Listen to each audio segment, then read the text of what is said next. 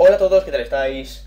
Hoy os traigo un combate random que tuve ayer contra Abril, una persona con la que hablo de vez en cuando por Twitter. Bueno, tuvimos este combate random en Pokémon Showdown.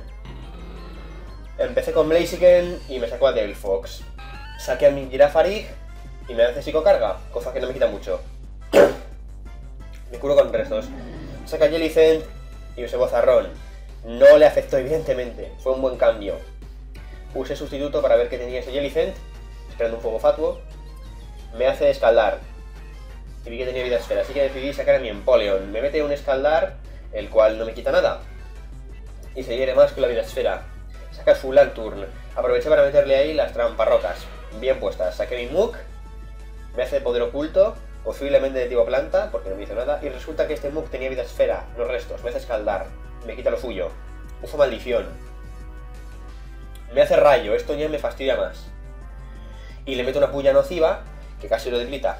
Pero es que mira que ponerle vida esfera a Mook, es que fue un desastre, tío. Ojalá hubiera tenido otro objeto, al menos cinta fuerte. Me sacó su Manestric, que era Mega Manestric, que me bajó el ataque físico. Le meto una sombra vil que no le hace nada. Y me vence con rayo, fue un desastre. Aquí me asusté bastante. Saqué a Blaziken, me evolucioné, me hace rayo y cargo una danza espada.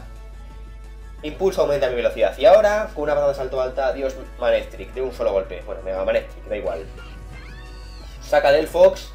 Y ahora, un ataque de roca afilada lo derrota. Ese crítico fue innecesario. Saca su Starmie. Y le hago roca afilada. Aquí es cuando tenía que haber sido el crítico, porque aguanto con el 1%. Y con escaldar me derrota, evidentemente. Pero la vida esfera derrota a Starmie. Ahora su Flygon y aquí yo temía perder.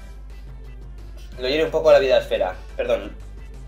Las trampas rocas. Me derrota con un terremoto y ahora se hiere con la vida esfera. Le hago mega cuerno con mi Scolipede y me mete un terremoto que me quita bastante. Ahora, aquí utilicé un sustituto para que se dañase más. A pesar de ello le quise meter mega cuerno. No me quise arriesgar con puya nociva.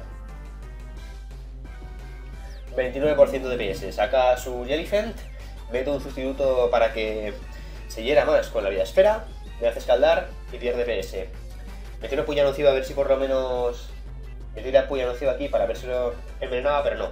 Le quito un poco y ahora me derrota con escaldar.